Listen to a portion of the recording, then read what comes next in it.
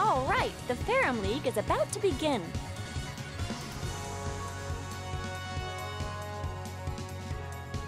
This is an official tournament where battle trainers from all around the Ferrum region come to show off their skills.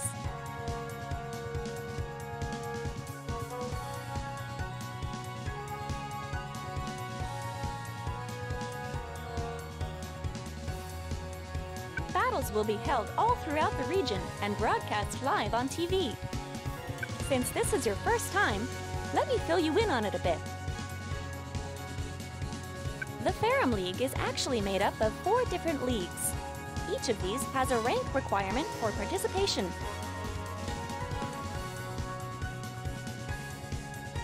Everyone starts off at D rank, so you can participate in the Green League. Now, as for each of the leagues, within the leagues, there are league matches in which you battle to increase your rank, and then a tournament between the top eight trainers in the league. If you manage to win the tournament, you'll get the chance to take a promotion test run by the league master.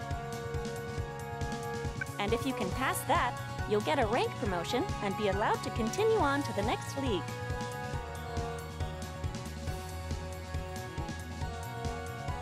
It should go without saying that the upper leagues are full of stronger and stronger battle trainers.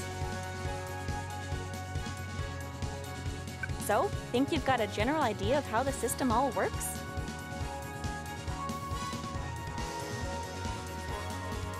I'm sure you'll figure it out as you go, so just give it a shot. Ah, according to the official Ferrum League rules, you can only have up to three support sets. Don't forget that you can always change your support sets in my town.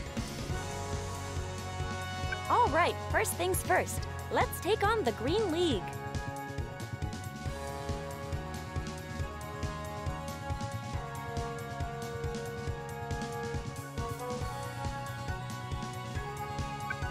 You're not pulling any punches.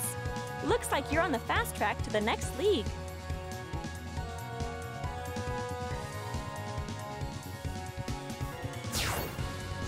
Here it is, the Beginner's League. This is where everyone finds their footing. Huh?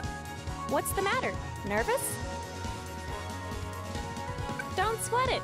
Just work your way through the league matches and make your way to the top.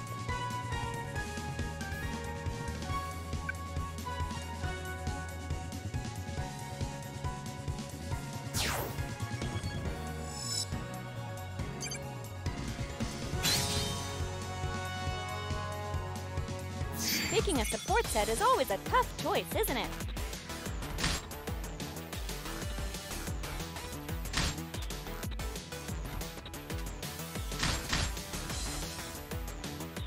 Okay, let's go!